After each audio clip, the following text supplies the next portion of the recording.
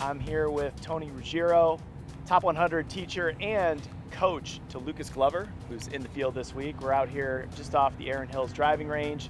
We are going to talk about fescue. And so, what we thought we'd do with you, Tony, is show our viewers how to play a shot out of this stuff. Well, I think the first thing you do is you analyze the lie. You look at the lie. I mean, the lie really dictates the ability or what you what your options are for the next shot. One mistake most golfers make is they get in here and they say they're 100 yards from the green and they take what they'd hit 100 yards and that may not have enough loft to get it up and out of there. So, you know, for me, here I think I've grabbed a 60 degree and I would think that that would be a pretty prudent play. You get with a 60 degree wedge, you've got the chance to get the ball up and out there and running towards your target. All right, let's see how you hit it.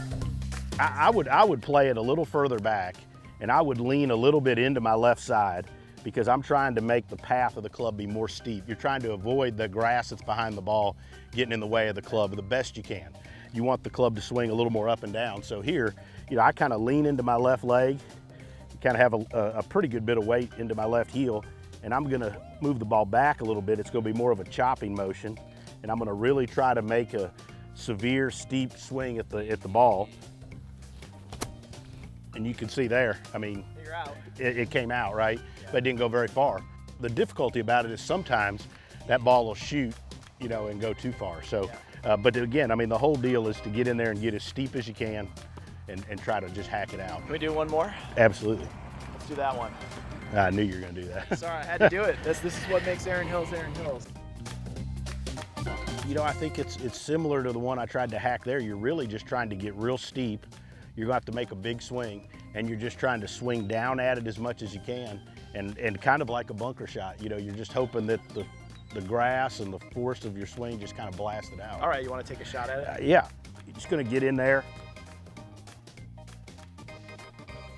You know, open up the face a little bit. And try to, you're going to really have to try to hold the face open because the grass is going to try to slam that face shut. So you're going to open it up, lean into it, and you're just going to hack it. I mean, and you know, if, if, that that would be a great shot from there, you know, and you, if you've watched any of the broadcasts, you've seen the best players in the world hit it in that stuff. I mean, they don't do any better than that. Well, there you have it. Even the best in the world struggle with this stuff. Thanks for giving us two tips, two ways out of it. Absolutely. Appreciate y'all having me.